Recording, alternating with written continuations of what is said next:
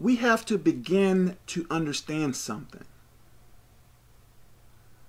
We have to understand that humans are not our problem. So keep this in your mind. For each human, they are either going to be influenced by a spirit of God or a spirit of a demon.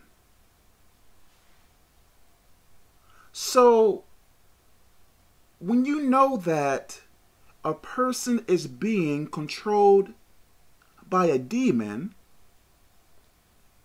why in the world would you fight the person? If the person is the puppet and the puppeteer, the person that is controlling the puppet, is a demon, why would you take your aggression out on the puppet? Let's say that the puppet gets on your nerves and then you kill it. Okay, what is the puppeteer going to do?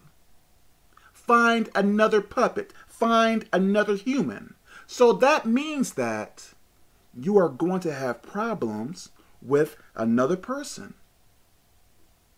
So if you want to stop the attacks, you don't fight the puppet.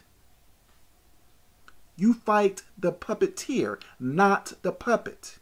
It makes no sense to argue or fight or fuss with humans.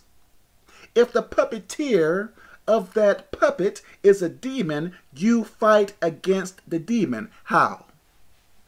With prayers, going on a spiritual fast where you are not eating or drinking anything, and reading your Bible, doing things of God. This is how you fight back against the puppeteer, that demon. Fighting against a puppet is foolish.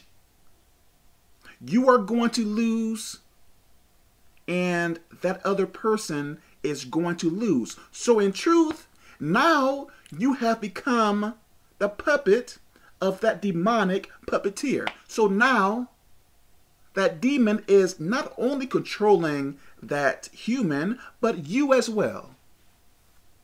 Stop being a puppet. If anything, be a puppet for God. But you don't fight a puppet. You attack the puppeteer, that demon. So I pray that this makes sense. God bless you.